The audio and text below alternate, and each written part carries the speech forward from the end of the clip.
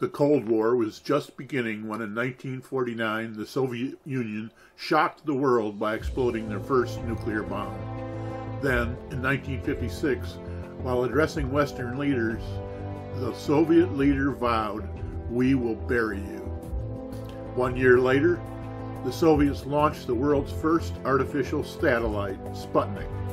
The American public was caught completely off guard as the specter of nuclear bombs raining down on our cities from unstoppable intercontinental ballistic missiles was suddenly a clear and present danger.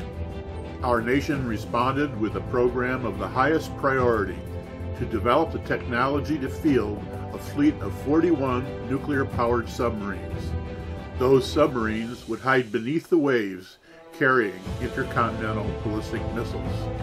The mission of those submarines was to prevent war by guaranteeing that the Soviets would be faced with unstoppable annihilation should they ever launch a nuclear strike against our homeland.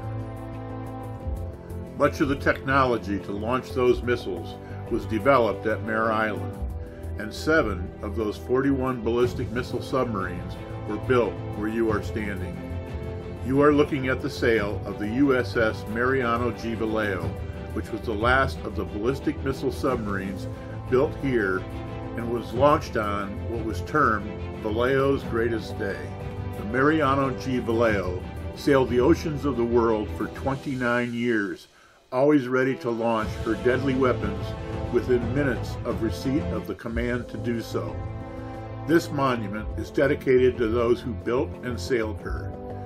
The sail rests in the same spot where the submarine was built in the 1960s.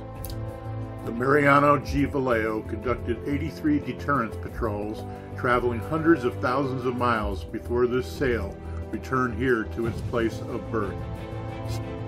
The nuclear-powered ballistic missile submarine fleet succeeded in their mission as no nuclear weapon was ever fired in anger during the Cold War. Stop in the Mare Island Museum to learn more about the Cold War and to see a mock-up of this submarine's control room built with the actual components from this important ship.